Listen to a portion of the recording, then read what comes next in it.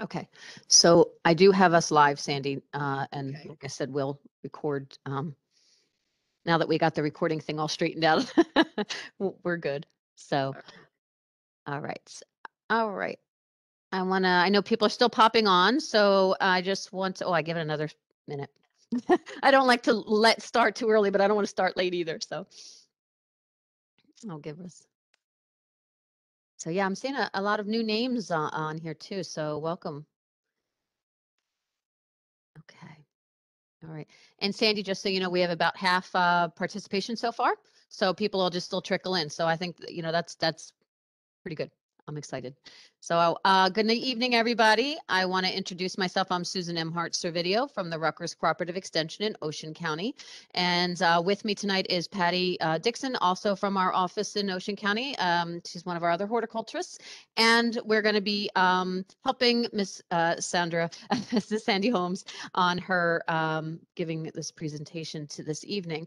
And I just really want to thank you all for for taking the opportunity. I know there's quite a few people that are um, outside of Jersey that'll be on tonight, and um, welcome. I, you know, it's it's nice to. I was just saying, it's nice to be able to reach out and uh, reach out some other garden enthusiasts. So we'll go from there. Um, as I mentioned before, your microphones and videos are turned off. Um, you can ask your questions in the Q and A. There's a little. Uh, it says Q at the Q and uh. Uh, so you can put your answer, your questions in there. You won't see the answers or, or you won't see the questions until Patty or myself answer and it goes out then to everybody. Um, so without further ado, um, I'd like to introduce uh, Sandy Holmes of Riverbend Daily um, Gardens in Bellbrook, Ohio. And that is uh, North Ohio. No, it's it's pretty much sort of west central kind West of Central. thing. It's bet- it's between Columbus and Cincinnati. Okay, Ah. okay. well, um, Sandy started uh, as uh, being a backyard daily hybridizer in 1995, and she had her first daily hybrid registered um, with the American um, Hemerocallis Society, which is also now called the American Daylily Society, and uh, in 2005. And she's a garden judge and a garden judge instructor for the society. So, um, which in the United States, there are 15 regions that uh, encompass a few different uh, states. So I'm going to let Sandy then uh, take it away. And I thank you, Sandy, for joining us this evening. Thank you. Uh, we're uh, I refer to our garden is a a uh, hobby run amok. We started out just playing with daylilies, and the more I did it, the more I loved it. So what I'm going to do tonight is kind of walk you through some of the things that I've learned about daylilies, and then show you how I spend my time. So, what is a daylily? Almost everybody that says, "Oh, I have the daylily," it's a bulb that does this, this, and this. And I say to them, "No, you have a true lily. The day lily in this picture is on the right, and it's full of all those little roots. So that's a day lily versus the true lily. Um, tetraploid and diploids. For the average gardener, it doesn't make a bit of difference. You get a flower you like and you grow it. For people who hybridize, it makes a huge difference because there's a difference in the number of chromosomes. And a diploid and a tetraploid normally are not compatible. As you can see on the picture, there's something called a triploid down at the bottom. And every once in a while, you can cross a diploid with a triploid and get a tetraploid. But you got to be crazy scientific to even know you're doing it. So I would say for the average person in this room, don't worry about it. If you, uh, in my case, I find diploids that I like. And since I only do tets, I sometimes have them converted so that I can use the pollen. This is where it all started out. All of, all of the daylilies started in Asia and that area, and they were called fulva. If you look at the one in the middle, that's what is commonly referred to as the ditch lily in almost all of the Midwest and the South, because it grows in almost every ditch, someplace in every county. So I don't know whether there's a lot of ditch lilies in New Jersey or not, but that's the one that came over, I would say, with most of the pioneers. Uh, sort of the background in Europe, George Watt, uh, Yeld uh, really got into daylilies in 1877. And he actually won an award for apricot, which is still available, believe it or not, in uh, 1892. And then in England, a fellow named Amos Perry started collecting, and the two gentlemen hybridized up until the, the 1930s. So they were the early European hybridizers. In the US, uh, Harrington started with the first hybrid. And that one, I, I don't see that very often, but I think it is still available. But the guy that's sort of known for daylilies in the US is Arlow Stout. And he was at the New York Botanical Garden and he started hybridizing there. And uh, he just became very well known. And finally, the uh, the botanical garden told him he had to get out. And so he he met with Bertrand Farr, who was in the Midwest, and he Bertrand was going to grow all of his seedlings and market his flowers for him. And the unfortunate part is shortly after they put the, together their deal, Bertrand Farr died, but the new owner who took over his business did all of Stout's stuff for him. So stout is probably the one that if you hear about daylilies and you're not familiar with them, stout would be the name you would hear the most in the US. Uh, in 1945, a, a bunch of daylily people in the Midwest formed the Midwest Hemerocallis Society, which 10 years later evolved into the American Hemerocallis Society. And Stout, who was active all along, died in 57. So yeah, that was a, a huge loss to the daylily world. So this is kind of there. I teach garden judging, and there's things that in that that help people to evaluate daylilies. And what I'm going to do is hit on some of those in detail, and others just for now we'll just kind of skip over them. So color, color is very subjective. I could love a color that you would look at and say that is the ugliest color I have ever seen. So color is very subjective. I personally like good, what I call clean colors. So you you get a yellow that's yellow, not necessarily one that has brown in the background. Um, but color is subjective, and everybody likes their own. Form we're going to go over in detail in a little bit substance is how the daylily holds up during the course of the day. So some daylilies are beautiful in the morning and look like wet tissue paper at the end of the day. So they have very poor substance. If you're, like my case, I select my flowers in the evening because that's when most people see them.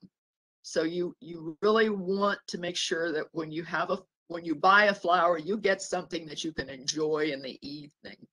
Even if it's beautiful in the morning, if it looks awful in the evening, don't mess with it. We're going to go over branching and bud count and foliage a little later. Distinction is what makes this daylily different from another. It could be it's the most unique color you've ever seen. It could be you have never seen branching and bud count like that anyplace.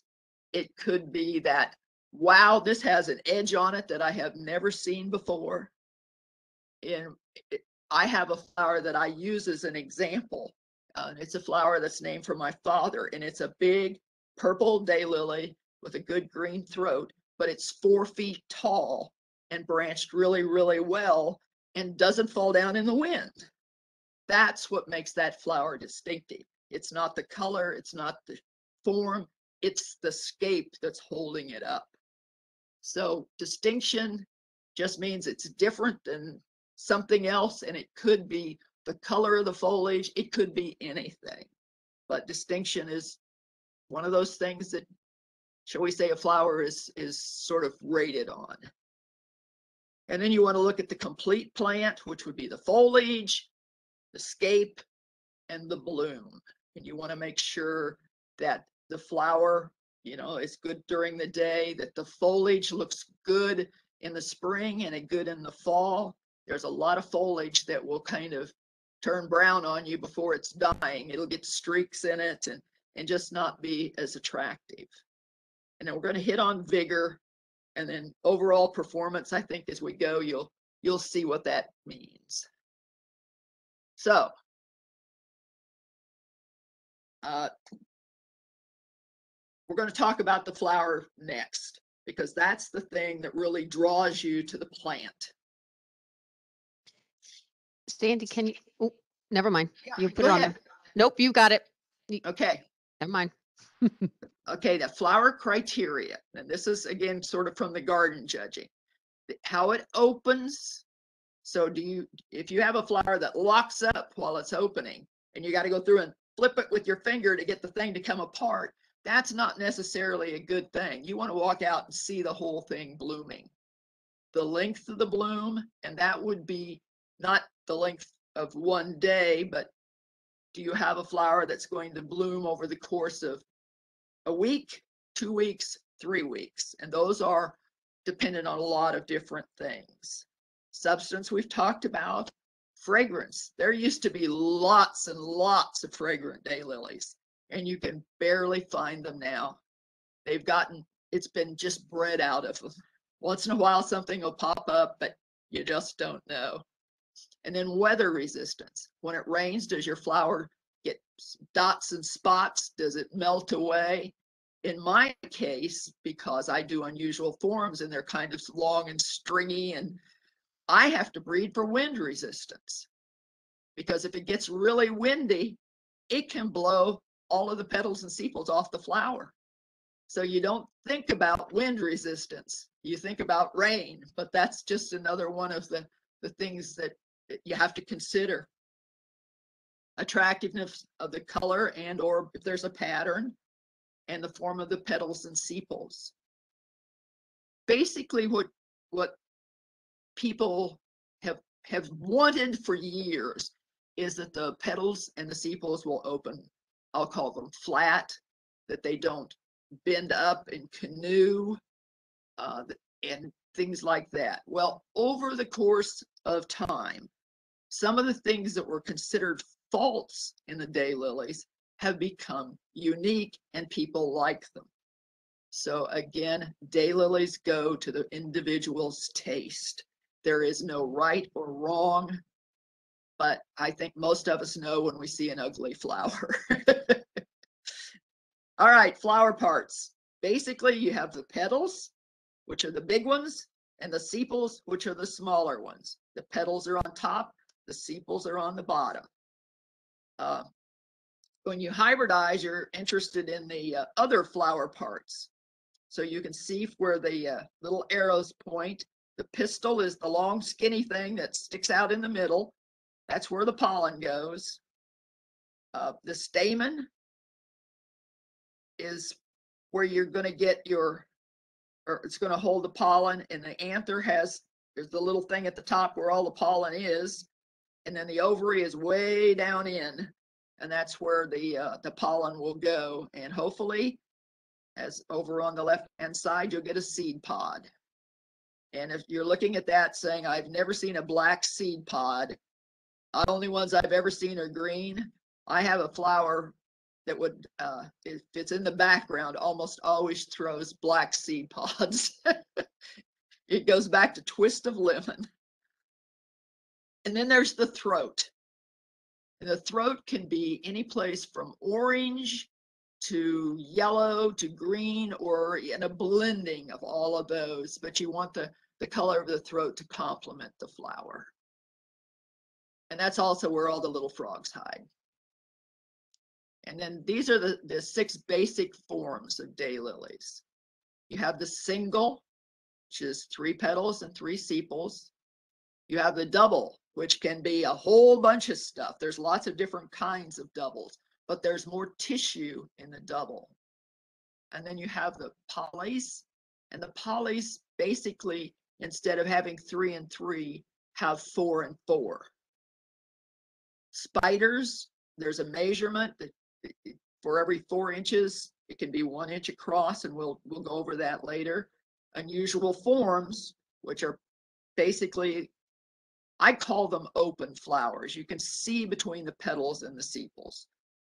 And then sculpted, and sculpt is, is a relatively new term, and there's lots of different kinds of sculpted.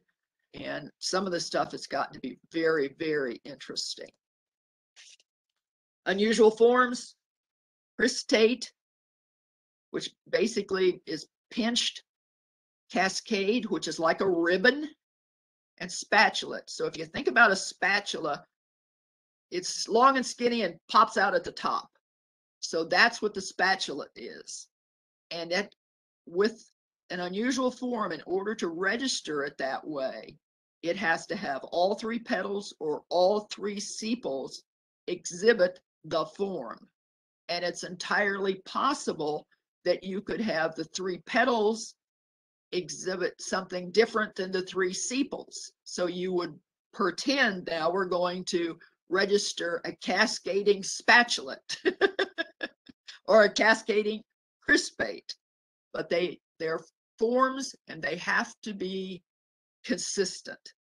If you have two that do it and one that doesn't, you're not supposed to register it. It can look different every day. And the flower may look different in the morning than it does in the afternoon. And now the sizes. Most of the sizes go are, are driven by judging. And I don't know if any of you realize that there are shows where people bring daylilies in and they are judged and you get winners. And this is one of the categories is a miniature. So it has to be three inches or less. And it doesn't make any difference what size the scape is. So miniature, you could have a three inch flower on a 14 uh, inch or a 14, a 48 inch scape, and it's still a miniature. A small flower is more than three, but less than four and a half. You'll notice I've got some Steve Williams stuff.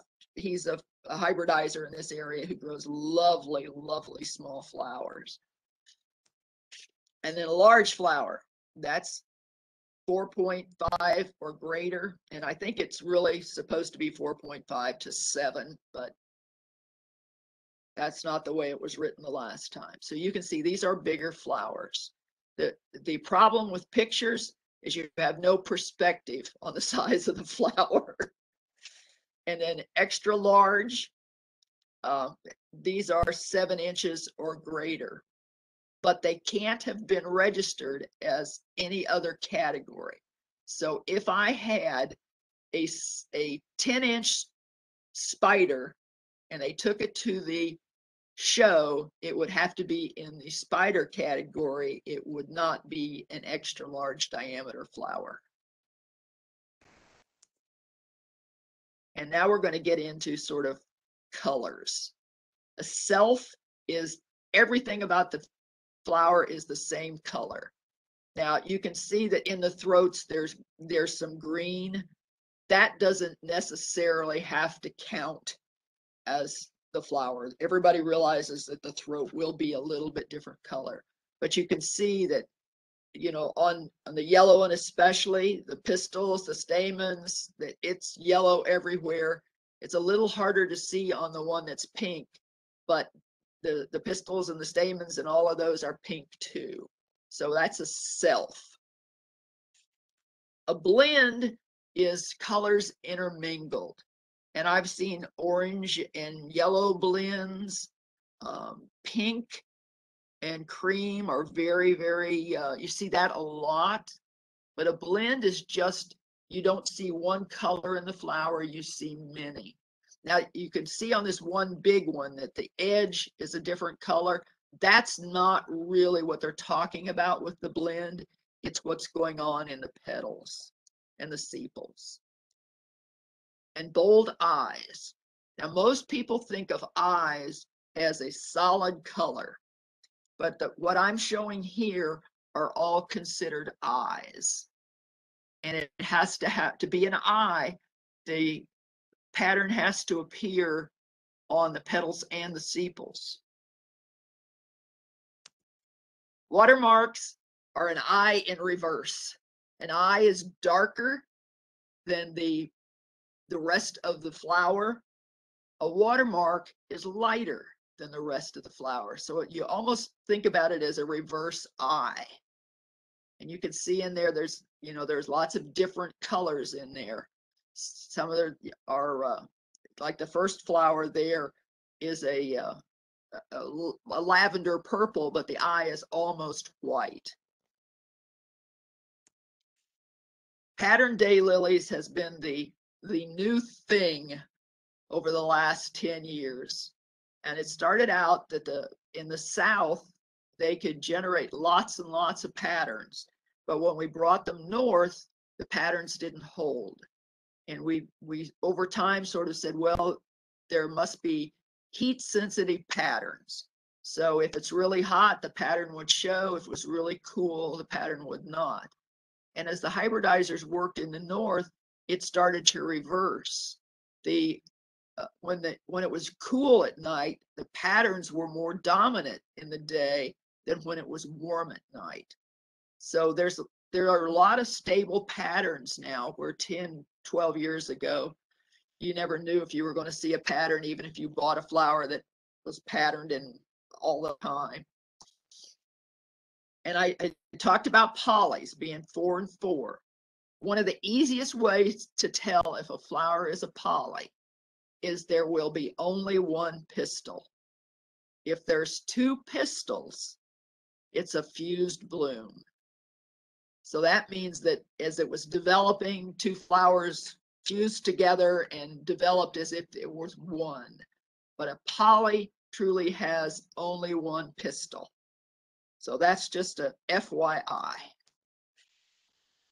Now, this is an area that I just love. I love the bitones, the bicolors, and I have to tell you, I'm a, a sucker for a watermark.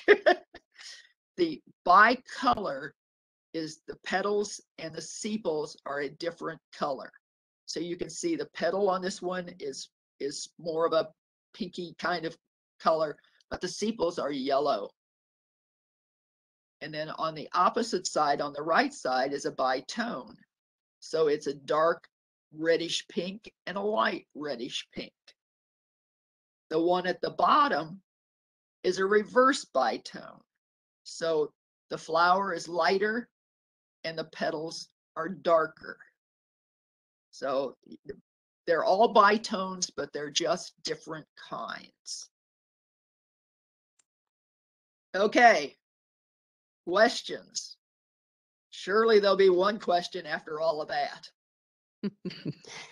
One of the questions that came through from Kathleen was about the soil temperature. Can soil temperature affect the pattern dailies beyond just the ambient temperature? Do you know off the top of your head? I don't know, but I have not observed that it does. Now, there may be a scientific study somewhere, but I have found that just the ambient temperature, you know, it, the soil temperature won't change much overnight, but you could have one day where it's 75 degrees, the temperature drops down at night to 55 degrees, and then pops up in the middle of the day at 75 again, and that will impact the color of your flower and how it opens and all that kind of stuff. Okay, and then we had the, oh, no, we're talking about the prolonged, the, the question that came in from Roberta early on. I don't know if you want to answer that one or wait till we get a little further along about prolonging the life of the daylilies. Um, let's, let's take that one when we get into the scapes. Okay. Okay, Okay, now we're good so talk far. about the other parts of the daylily that make that pretty face nice. Foliage. This is without a doubt the most controversial part of, I'll call it the hybridizing daylily world. There are basically three kinds of foliage. There's evergreen, which tries to grow year round and does very well in the south and can do very well in the north, depending on whether it's under six inches of snow or there's a, the dormant day or the dormant day lilies, which have like a blue green foliage. And I'm sorry, but my picture does not show that as blue green, but it really is. And it can take a drop in temperature, even to freezing, and it doesn't really impact the daylily unless it's gotten up where, you know, it's like foot and a half tall. When it gets that big, it will be impacted. The semi-evergreen or semi-dormant, whatever you want to call it, will grow. It won't turn into a pile of mush because it's not going to grow year round, but the temperature can burn the tips.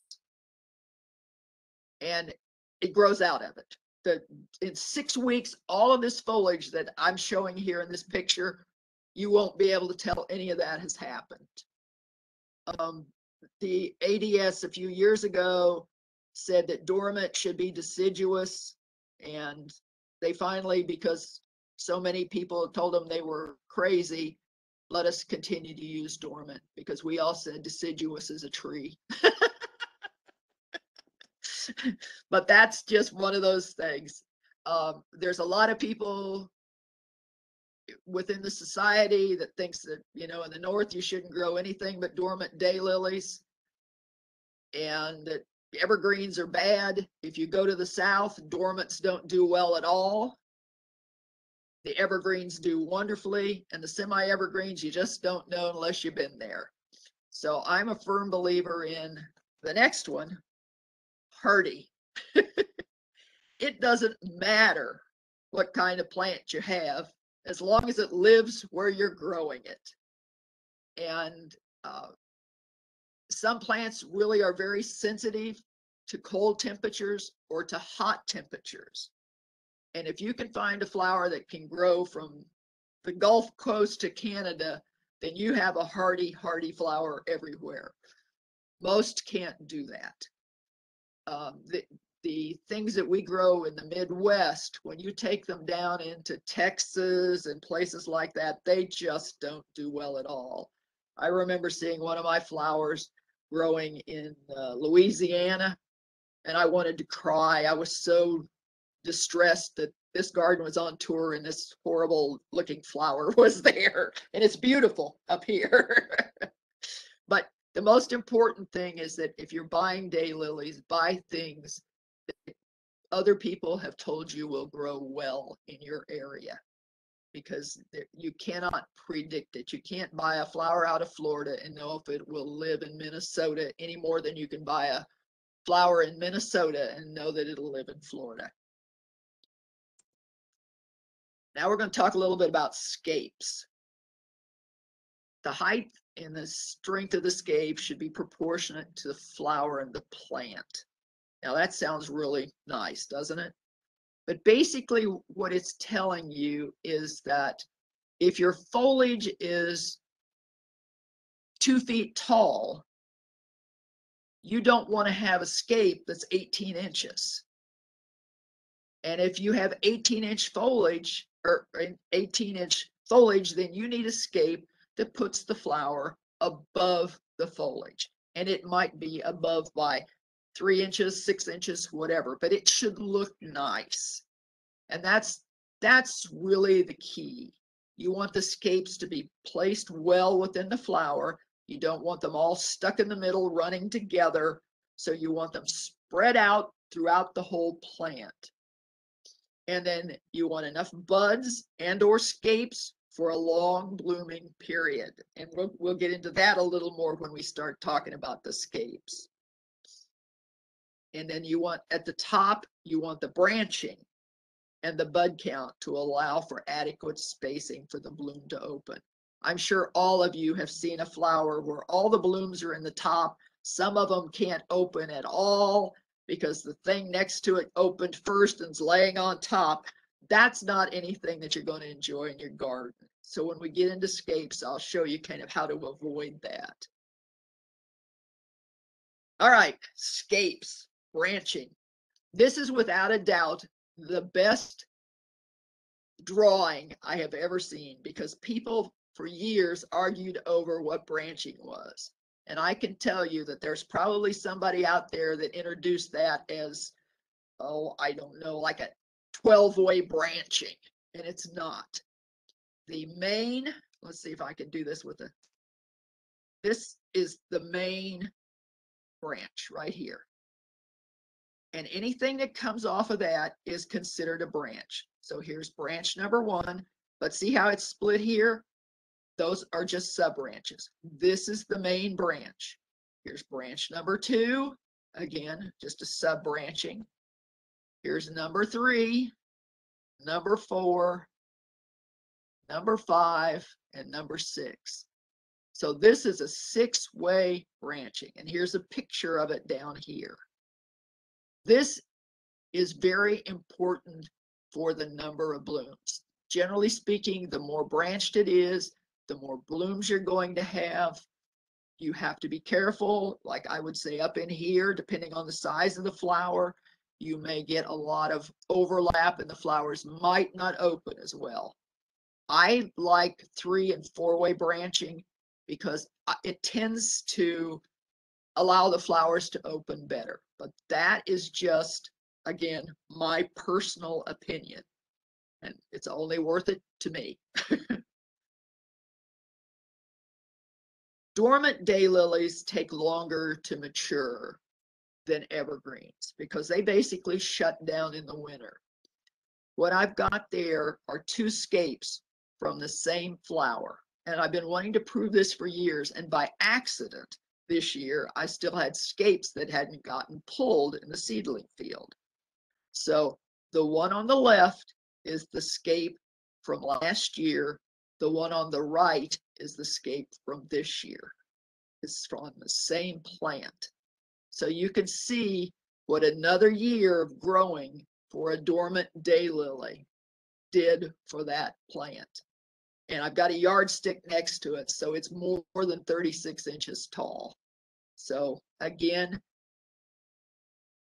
if you look sometimes on a plant, you'll see that one of them will be five-way branched and then be another that'll be two-way branched. The only reason it's like that is that the second one is the immature scape. And the following year, it probably will be very, very much improved. The other thing that impacts the scapes is the weather. So if, as the scapes are developing in the spring, you've been having I will call it 60 degree days and it drops down to 30 at night or it snows or something like that, your early bloomers are going to be really impacted and the scapes will probably not be as nice as they've been in the past. But following year, they'll be fine again. But the weather, when the weather gets wacky in the middle of the scape development, it really impacts the scapes. I know this year we had a, a funky spring and I have things that have had beautiful scapes on them that were just miserable this year. And if I had walked by them as I was making final selections, I never would have introduced them. But I know that they're good plants. So it was just, it was the timing of the weather. And you can see the three different sizes there of the scapes. So that's not anything that's shall we say, really important. But the bigger the flower, the sturdier the scape needs to be. So if you have a small flower, it'll do just fine on a little bitty scape. It won't fall over. But if the little bitty scape in the middle was holding a an unusual form that was 12 inches, I can guarantee you it would be on the floor or the ground, I guess. All right, now you want to talk about how many blooms you're going to get. Well, the, the first scape there at the bottom, that will have a lot of blooms. See, you got a branch here, you've got some stuff going on. Oops, over here. This one is kind of all run together, but I can tell you, having used this flower, and, and I, you know, it's an introduction, they don't all open at once. So that one does just fine. But the more buds you have on the scape, the more flowers you're going to have. Um, before we started, I was was telling Susan that I had a, a little diploid one time when I first got started, and it was well branched. It had about 20 buds, and it would bloom five flowers a day over six days, and then it was done. You know, it, it would bloom, it would have a little break, it would bloom. It made a beautiful bouquet and it was really good compost. Now, the, the one at the top, that's Stella de Oro. You can see it's a little tiny thing. There's hardly anything to it, but that little devil will bloom all summer. The one down here has got lots and lots of, of spent buds. You know, that, that one will bloom for a long period of time too. So rebloom is really important if you don't have a lot of buds on the scape. There are a lot of people who are who hybridize for rebloom. So it will bloom, it'll rest for a little while, and it'll bloom again. So as you're trying to plan your garden, rebloom is always good. But there's also something that you can think about is daylilies bloom early, mid, and late. And there's early, early, and early, mid, and all that stuff in between. But as you're planning your garden, you want to look to see when the flower blooms. I had a flower that I introduced years ago that liked to start blooming the middle of July or of June. And it would bloom until the end of August, but it never rebloomed. It increased very easily and it would send up new scapes all through the summer on the new growth. So it never rebloomed because I thought, how in the world can it bloom that long? Others are, um, they bloom early and they're done. And so you want to get something else that's going to take over when that one stops. So always as you're looking at plants, look to see when they bloom so that you'll know that you're going to get a variety of bloom times from them. Okay. Hopefully I got the question. I, I think, well, we'll see if, if Roberta uh, puts it back in there for you. Um, we do, uh, the question, sorry, uh, go ahead, Patty, you had one. Uh, Rosemary wanted to know if there's any daylily that is deer resistant. no. if there was, somebody Yep. could make millions of dollars. Millions. Unfortunately, got to keep it. Let's work on that. Yeah, Yeah. yeah. There Yes, are some there are some things that you can use um, that will will kind of make the deer stay away. Um, I have been lucky that the deer haven't decided we're food. We have enough corn and soybeans and stuff around us that that we really have not had an issue. But I have a lot of friends who hybridize have had to put, you know, like 10 foot fences around their their things. And daylilies, once the deer decide their food, you're done. Yeah. Yeah. I have heard that mill, Um, Milorganite, which is a fertilizer, they don't like the smell of it. And that will kind of repel them until, I guess, until they decide that they'd rather have the, the flower than the, then they can deal with the smell. But that, uh, I've had people tell me that that will work for them.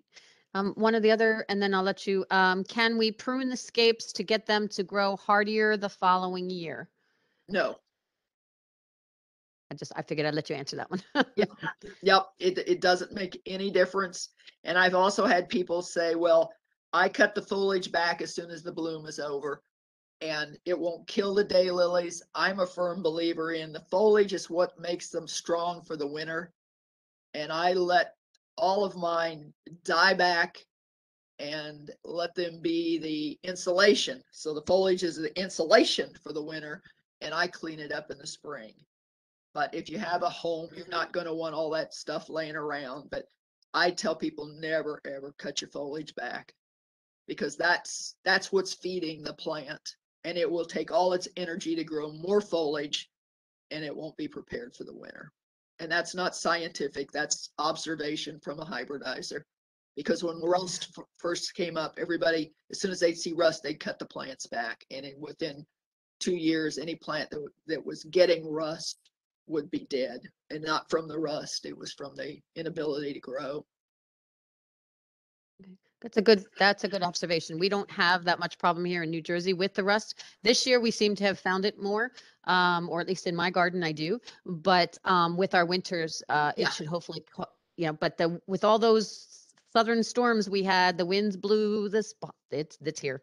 Uh, one last, and I'll let you, I'll let you go ahead and continue on, but, um, somebody was asking if you have a reblooming, well, you may get it into it, uh, when you're talking about pollen, but if you have a reblooming daily next to a one-time bloom, will they cross pollinate? Like- Daylilies can, a bee can make lots of new seed. And it, yes, they can cross pollinate as long as it's, they're diploids and you know, diploids to diploids and tetraploids to tetraploids, you can get bee pods all over the place. It doesn't make any difference whether it's rebloom or not. Okay, and then a couple others, but I think you'll get into that, so we'll, we'll let you continue on. I'm going a little longer than I thought I would. I apologize.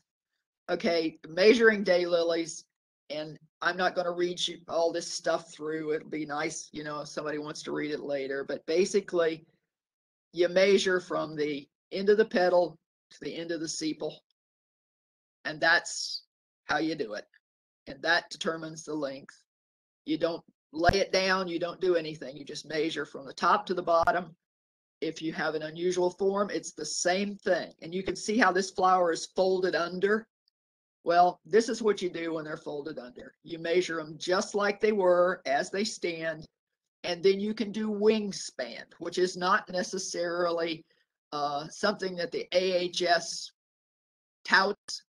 But if I have a flower that's 11 inches and I measure it and it's seven inches, I want people to know that it's really a bigger flower. It's just the way that it lays when it opens. So that's wingspan. In the wingspan, you get to take and lay everything out.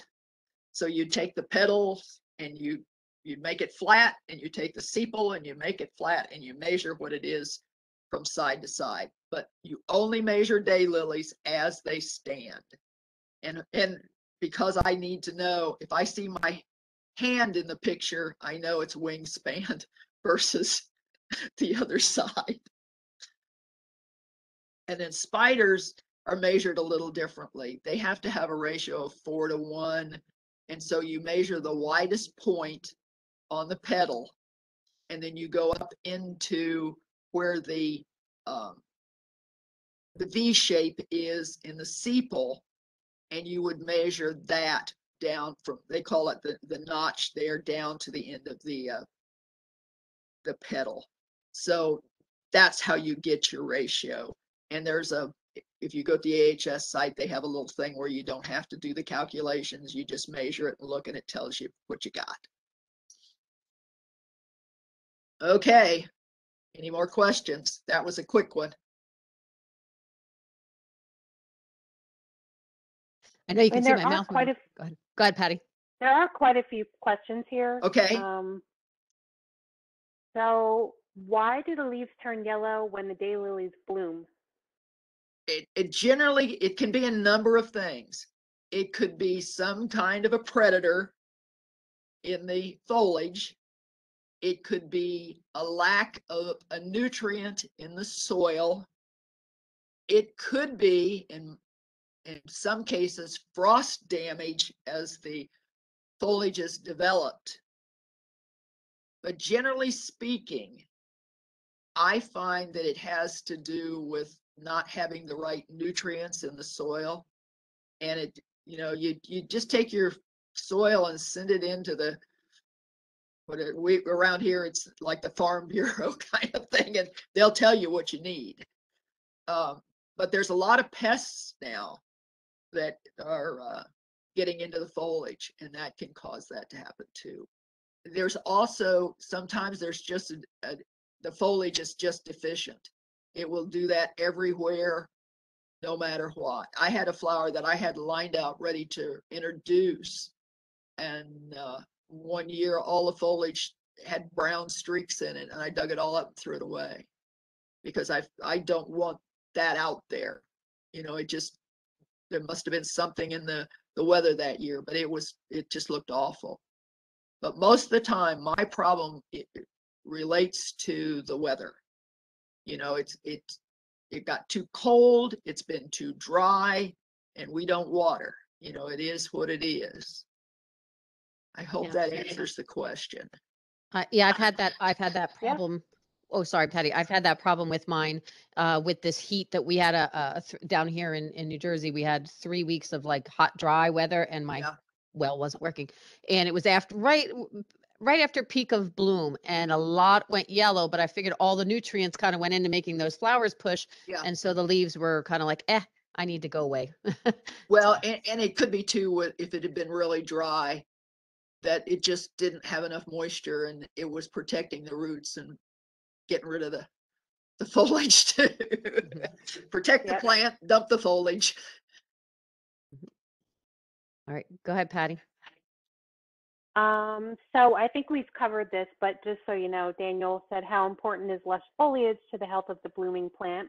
I think we kind Yeah, of covered that. yeah. The foliage is very important. It's, it's the Yep. nutrients. Um, someone made a comment just saying that there's a lot of ditch lilies that the deer don't seem to eat. They're afraid of the traffic, I guess. Or, or Yeah. there's plenty of them. It doesn't matter. You'd never Yeah, know there's- that they didn't eat them. Yeah. Yeah. Yeah. Um, Um, there's a few questions that came in about um, dividing and separating. I don't know if you want to cover that or Sure. wait. What what I have left now Um, is I'm basically going to show you kind of how I hybridize, and we can go through that very quickly. Um, in terms of separating the plants, and I, I intended to put this in and then forgot about it. I have two really long screwdrivers and a Mhm. rubber mallet. And if I dig up the clump and I want to separate it, I look to see, and, and as you look at the flower, you can see how it increases, it- how the new plants are coming off the side. So you want to try to find a place where you're going to leave as much together as you can. So, you know, don't drive into the middle of it because you're liable to lose the plant that's just growing out. Try to find the space between the old, uh, where the plants are coming together. But I just take and I drive one of these screwdrivers in and then I, with the mallet, and then I put another screwdriver in right next to that one and I pull them apart. I try to get the, the ground wet that's around the plant. And, and they pull apart very nicely. It keeps the roots there. Um, and then I, I use baby powder on any raw cuts. And for some reason they're, and it may not work now that they've changed all the baby powder, but I continue to do it. There was something in baby powder that keeps the wounds from rotting. It's best to leave them out overnight and let any kind of wound you've got dry before you put it in the ground. But you can put it in the ground and if you've got a good hardy flower. I always say if you spent ten dollars on the flower, it will live no matter what you do to it. If you spent two hundred and fifty dollars on it, it will die no matter what you do to it. I agree with that sentiment, although I've never done the two hundred dollar ones. Um, one of the other things, oh, so you're also, when you're saying you're using the screwdrivers, you dig the plant, the whole plant out first and then yeah, have it out of the plant ground, out, right? Yes. And then I, uh, one of the hints I want to give you for replanting is you dig your hole, you take a handful, small handful of, uh, um, yeah, Soil. no pellets, uh, alfalfa pellets. Alfalfa pellets, horse feed. Okay. and you put it in the hole, you smush them around a little bit, fill the hole with water, and then put the plant back in and put the dirt back in. And you will be amazed the difference that makes. I'm gonna try that. Oh, yeah. And uh, the, the alfalfa pellets are incredibly cheap. You go to a feed store and buy those. Okay. Uh, Um, I see one more question because I know we have about ten, we're about twelve minutes before eight. So Yeah. just to give you a time frame, um, Denise is asking what can be done to encourage the dailies to bloom throughout the summer, which you kind of answered, but I think it needs to, yeah. It, the, uh, water. They love water. Mhm. And then, it- you know, you, you do need to make sure you've got good soil, but mostly the plant will determine, you know, the scape and all of that will determine how long it's gonna bloom. But like the rebloomers, the Stella de Oros, or those that keep Yeah, producing new growth, that's a different. yep. That keep will Water, going. water is generally the key with daylilies. And Sandy, well, since you hybridize, I don't know if you find, do you find that with the seed pods, if it produces those little seed pods, um, if you cut the scape off while it's still green before it goes tan, if you cut that off, do you think that encourages anything more? Um, or not really? Like, I haven't, I've not observed that. Okay. You know, I, I, people say don't ever set pods on your first year blooms. I set pods on my first year blooms. You know, it's just, that's what I, you, you do whatever works for you. And it works in my area. It might not work in another. Okay, and, oh, I guess there was one more. Uh, Rochelle, Rochelle, uh, was asking, why would, would you throw away a plant?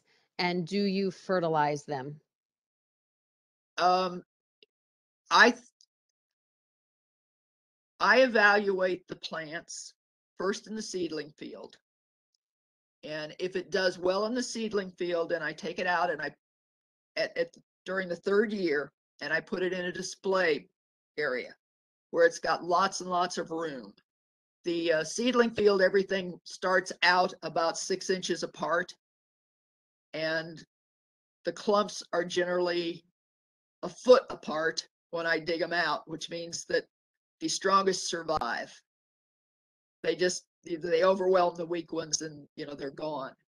And then after they've bloomed in the display area where they have plenty of room, if they have good branching, good foliage, a nice flower, then I take them out and I cut them up into singles and put them in a line out area where they get their last evaluation.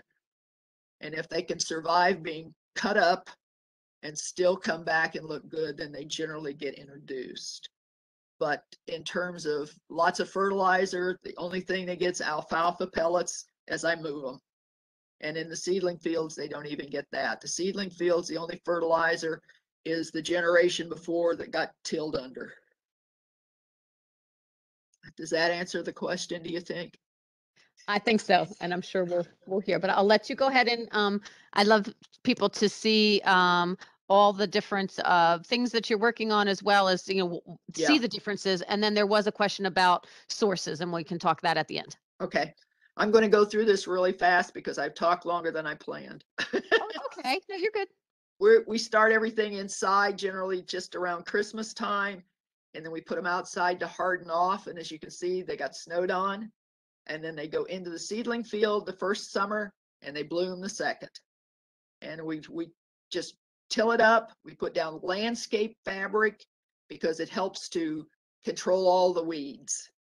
And you can see there, there's the little things that come out and they are very, very close together. They go in the ground we find that this gives us it warms the soil in the spring so the new seedlings because there was nothing there dead the year before will bloom a little earlier and it, it we found the landscape fabric is just really really good for us we use very few chemicals we figure that you know if we've got a little bit of something in the spring the beneficial insects will come and get it and we just deal with it we don't worry about thrip damage and all that kind of stuff we do use Lontrel because we have problems with thistle blowing in because we're in a farming area. It will kill the thistle, but not the daylilies. But if you've got daisies, look out. And then we also use snapshot for grass because once the grass gets in there, you just can't get it out. And you can see the, the difference in the roots where the snapshot was used. We consider the only mulch we get is if it snows. The uh, picture shows what it looks like on a day when it was 18 degrees. They get what they get. If they die, they die. And then that's just a picture of bloom in the summer. I'm going to keep going because I don't think that there's too many questions on that. And then I started playing around in 94 and really got serious about unusual forms. Everything is at the farm. That's just a picture of the seedling fields and some of the display areas.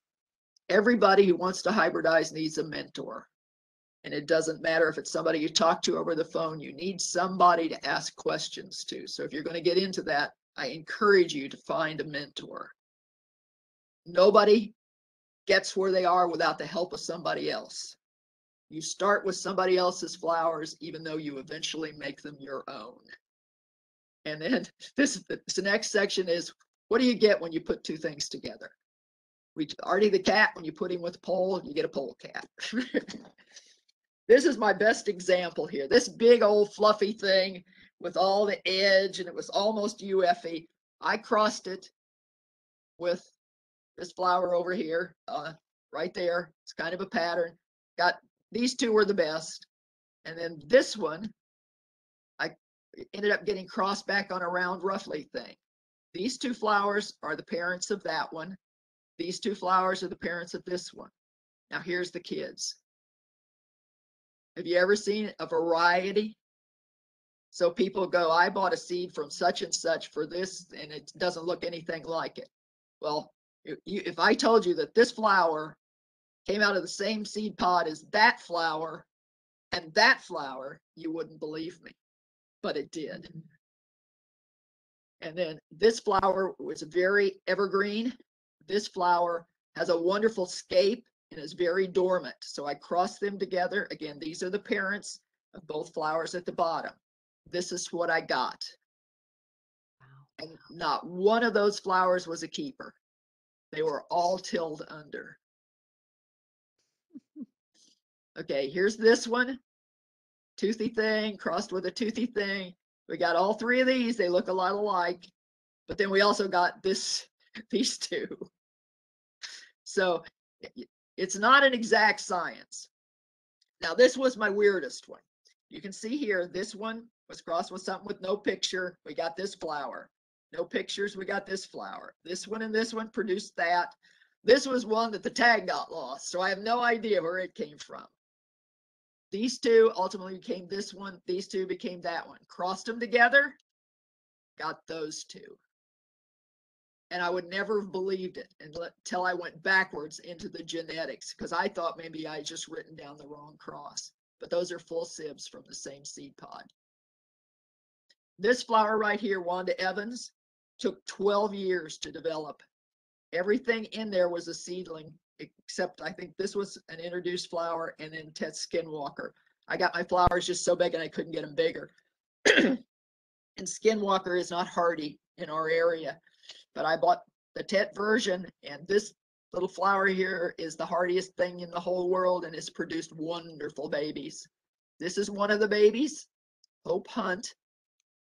This is another flower that came out of Divine Inspiration, which is a Durakian flower. Crossed those two together and got this one and this one. Again, exact same parents, but you wouldn't believe it. This thing is four feet tall. This one is probably 32 inches. Same parents. So I always say, you know, if you want a good plant, you've got to cross on a good plant. So you might take a pollen from a plant that's not quite as good, but always put it on a good one. And then I break my rules. So I put a five inch flower with 12 inches, a 12 inch bud, a five bud flower with 12 inch scape. There we go. And I crossed and made 156 seeds with it. This is one of the kids. Another kid. This one I really liked because of the edges and the eye. Another kid. And then this one is a uh, another one that I really liked. I like the little thumbprint thing here. But that's what I was trying to get. And I got a bunch of really bad plants, but I got two or three that were very good. And then this is another one. This is my little evergreen one I showed you a little earlier, crossed with that and got this flower. And it made all kinds of funky kids. I crossed it back with another one here. You can see we got the little thumbprint again. It's got a, well, we call it a blue eye. You know, daylilies aren't blue. And then here's a bunch more kids that came from the, this cross. So here's the two parents. Here's the kids. All as different as can be. I do uh, large UFs, and I'm going to go through this really fast. This is the mama, this is the daddy on all of these pictures I'm going to show you. So you look here and here, and I got this. You wouldn't believe it, but that's what I got. These two, I love this little thing in the eye here, and I managed to capture it on both the petals and the sepals on this flower. This one I thought was very pretty here, but if you look down here, see this kind of, I always call it, looks like wiggle worms on the back. And it's the little dots on the front. So this is kind of unique. It was, it's called stippling. Another one across the big yellow, and this is a small flower and got this thing with the, the lavender in it that's really pretty. I'm sorry, but I don't mean to brag on my daylilies, but I like them. These two produced this one. These two, is I didn't have a picture, but here's the two parents of the one that was the mama. This is the daddy, and I ended up with a much bigger flower in a, a kind of a funky kind of color. I always call it kind of an apricot and and a purplish color. Now, for people that really, really like patterns, this one is very stable. It was every time it bloomed this summer, it was very stable. Here we got a little thrip damage for anybody who's interested. And then this one, where the color came from, I do not know, and I have never run it backwards, but this should not have had this pattern, but it did. This is another one, just a, a nice little pattern here. We- didn't get the little arrows there. This is another, these are smaller flowers here. I love the, uh, the veining in this. I think I, I've just always been drawn to veining. Thought this one was kind of pretty with the big watermark in it. And then it, the watermark carries out here and it's got the purple on the edges and little white, or purple on the ends and little white edges. This is a big old skinny thing with a, an eye in it. And there's a kid from it. Another one, this, this was a really good parent for me, but it didn't get the bud count. It got plowed under before I noticed the kids. This one is polleyed, but it's got all kinds of thrip damage. And if it's real susceptible to thrips, I'll end up throwing it away no matter what it looks like. I, I give it, you know, it, I always say the first week of the, the bloom season, in the early stuff, if it's got thrips, I don't worry about it. But if I'm seeing thrips in the middle of summer, the plant's too susceptible and I pitch it. It's just another kind of pinky one. This was my favorite flower of last year. It was it was on a great big tall scape, and I'm got a bajillion kids coming from it next year.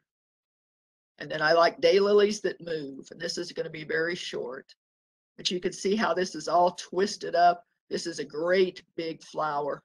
It's probably about 11 inches if you stretched it out. I like this really dark purple one. There's spatula, but it's not on all. Oh.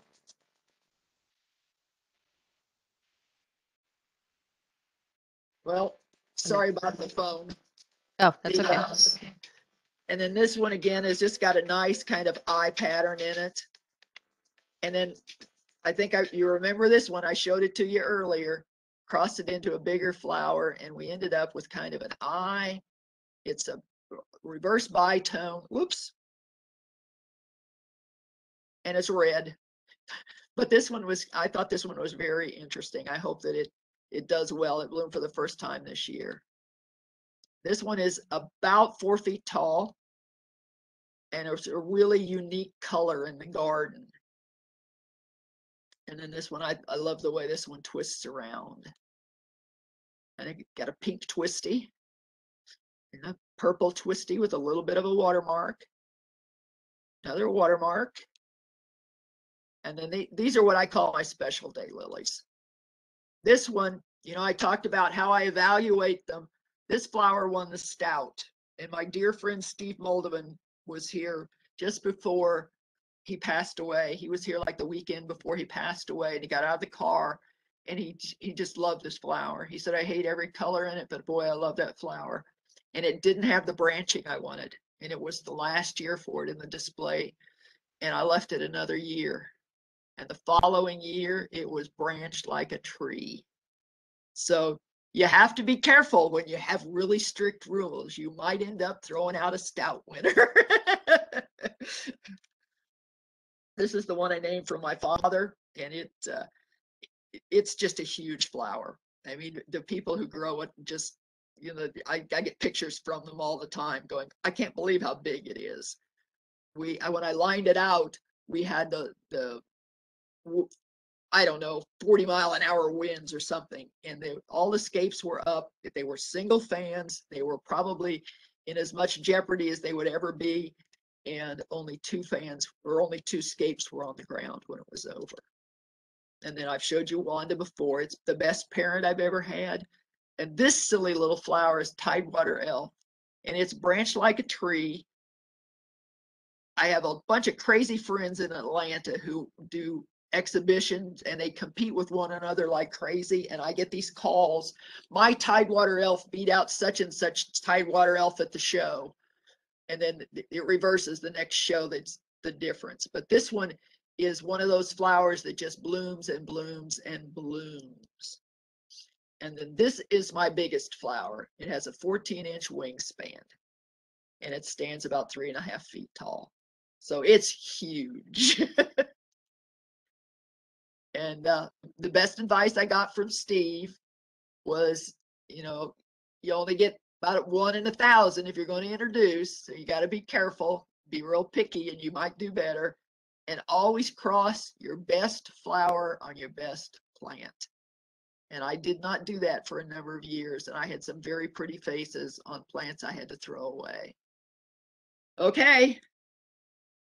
Okay, so I want to, uh, well, I, lo- I love that one. Um, I have your, no, no, that's somebody else's. Any case, I wanted to thank, uh, there's still, uh, quite a few people online. So I wanted to thank everybody since it is after eight. You're welcome to stay on and we'll, we'll talk and everything, but I want to give people uh, a chance to, um, to pop off if they need to. Uh, we will have a, um, a garden program, uh, next in November on the 16th on Garden Railroads.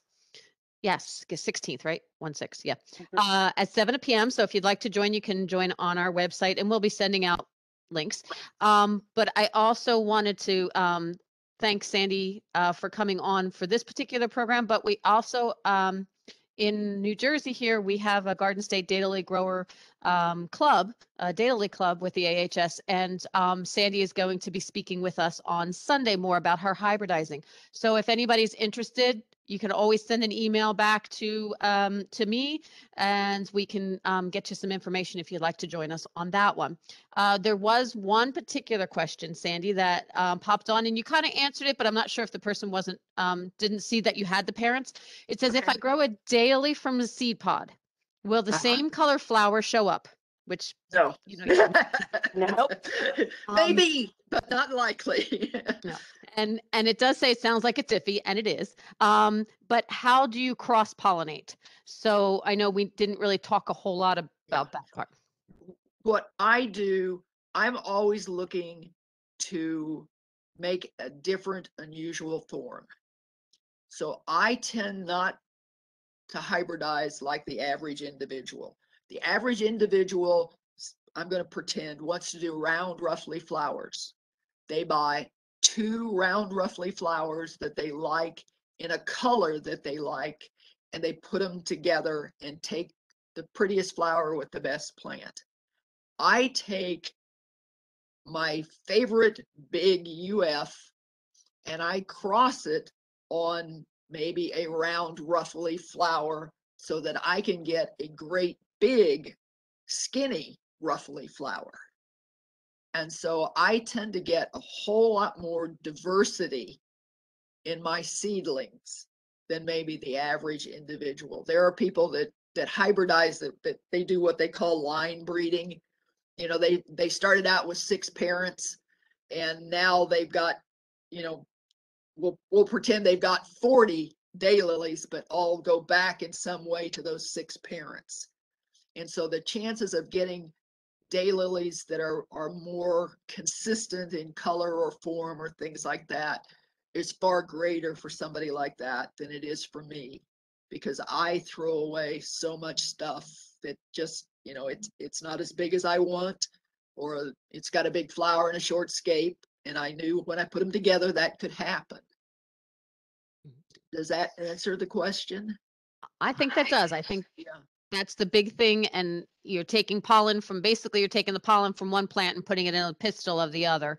And Yeah, then you're saving that seed pod so you can plant it the following year. yeah. um, for those people that may not be as familiar with the process. Um, I, I love, uh, Lynn also, uh, had asked, um, when should you divide daylilies? Do you have a preference? I know you're a zone six, we're zone seven here on the coast of- of Jersey. What's your preference? I'm dividing daylilies right now.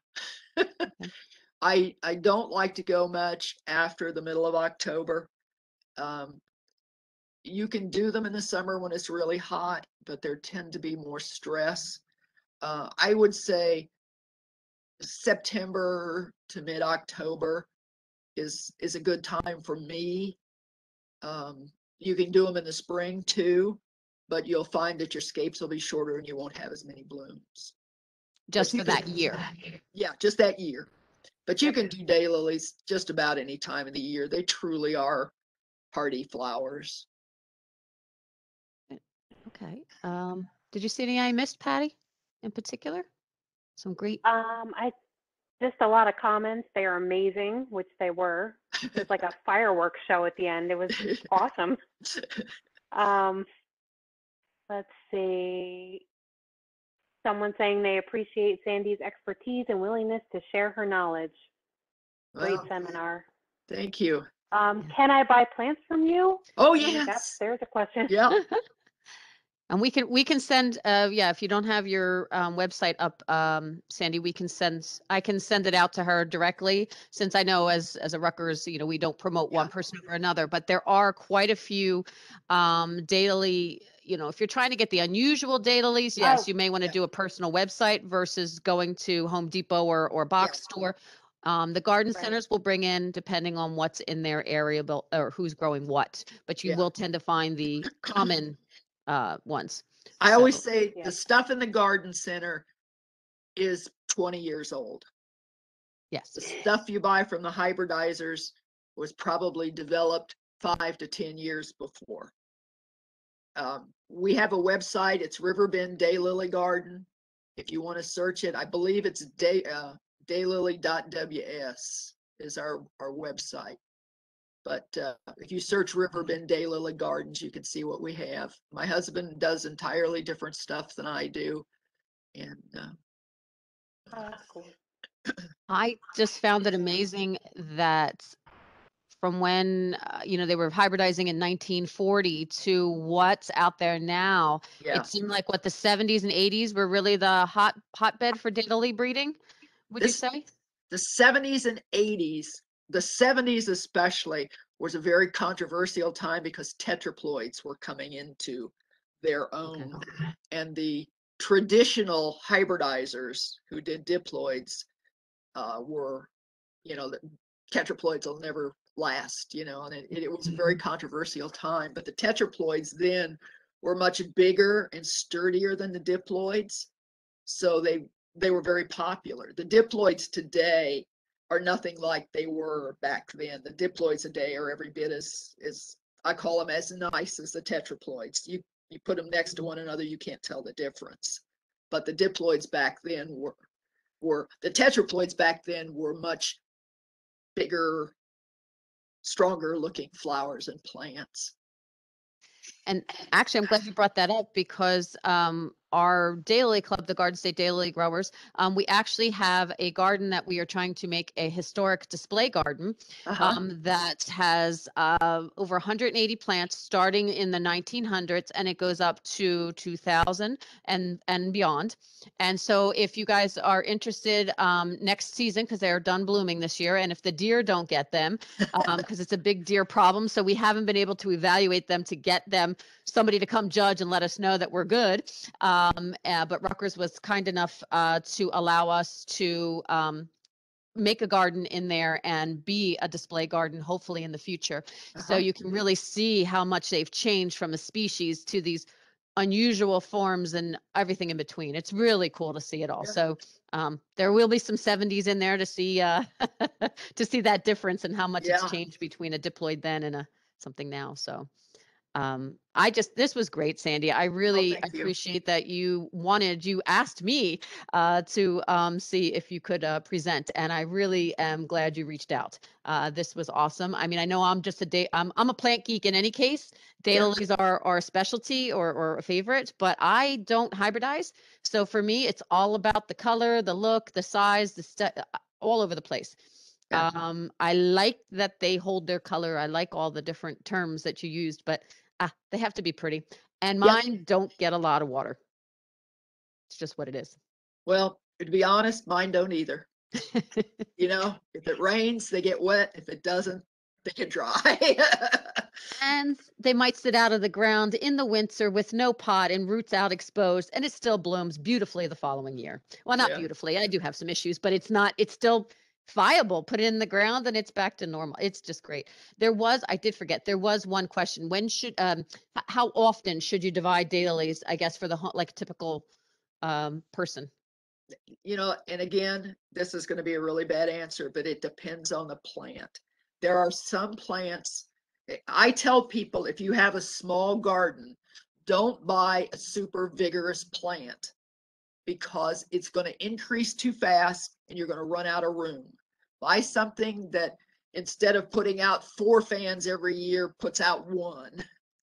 So if you have something that puts out four fans every year, you will notice over time that the bloom, you don't get as much bloom and the flowers are smaller. And when you start to see that happen, you've gone too long. You probably should have taken care of splitting things up the year before.